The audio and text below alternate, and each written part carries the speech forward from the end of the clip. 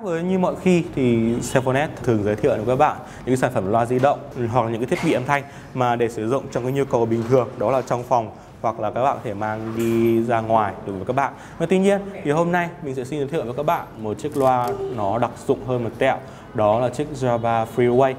Đây là một sản phẩm loa di động được dành riêng vẫn được tối ưu để các bạn có thể dụng trên xe hơi. Và ngay bây giờ chúng ta hãy cùng nhau mở hộp cái chiếc loa này.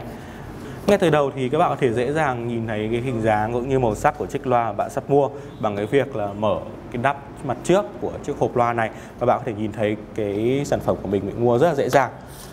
Và để bóc hộp thì các bạn sẽ cần phải trải qua một số giai đoạn. Và đây là chiếc loa của các bạn. Khác với những chiếc loa di động mà các bạn từng thấy trước đó thì chiếc Jabra Freeway này, cái ấn tượng đầu tiên các bạn sẽ thấy là nó siêu mỏng, kinh khủng luôn. Ngoài ra thì ngoài chiếc loa, các bạn sẽ có thêm một số giờ sử dụng.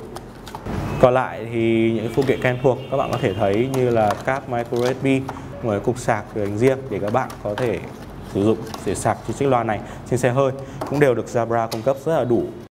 Ấn tượng đầu tiên khi các bạn cầm nó lên, nó khá là mỏng và thậm chí nó mỏng đến mức mà nhiều bạn sẽ lo lắng là không hiểu nó lấy đâu ra không gian để cộng hưởng cũng như làm cho cái chất lượng âm thanh nó đảm bảo tốt. Thực sự những cái điều lo lắng của các bạn nhiều khi nó sẽ đúng một phần. Ngay từ đầu thì mình sẽ phải khẳng định với bạn một điều là các bạn sẽ không thể mong được cái chất lượng âm thanh nó sẽ là tốt như là chiếc loa di động kích thước lớn hay là những chiếc loa để bàn nó các bạn thường dùng ở nhà đâu. Chúng ta cùng nhau điểm qua một số chức năng đặc biệt mà chiếc Jabra Freeway này sẽ cung cấp cho các bạn. Nhựa là cái chất liệu quen thuộc mà các hãng sẽ sử dụng để tạo nên một chiếc loa di động thường thấy và chiếc Jabra Freeway này cũng vậy, toàn bộ phía mặt trước của các bạn sẽ là bằng nhựa và đây, mặt trước này cũng sẽ là các nút bấm để các bạn thì điều khiển được các hoạt động của loa và còn toàn bộ ba chiếc loa của các bạn với ba driver cỡ nhỏ sẽ được đưa hoàn toàn ở phía mặt trước này và bảo vệ bằng một cái màng được lắp lên phía trước. Đằng sau thì các bạn sẽ có thêm một cái móc để các bạn có thể dùng làm ngà để treo chiếc loa này lên trên nóc của ô tô hay là bất cứ nơi nào bạn cảm thấy thuận lợi trong chiếc ô tô của các bạn. Sản phẩm đã được kích hợp sẵn pin sạc vào, do vậy thì các bạn hoàn toàn có thể yên tâm với thời lượng phát lên tới 12 tiếng liên tục của nó. Và một khi hết pin thì các bạn hoàn toàn có thể sạc ngay trên xe hơi bằng cái phụ kiện sạc dành riêng cho xe hơi mà các bạn đã đi kèm và mình giới thiệu cho các bạn ở phía đầu của clip.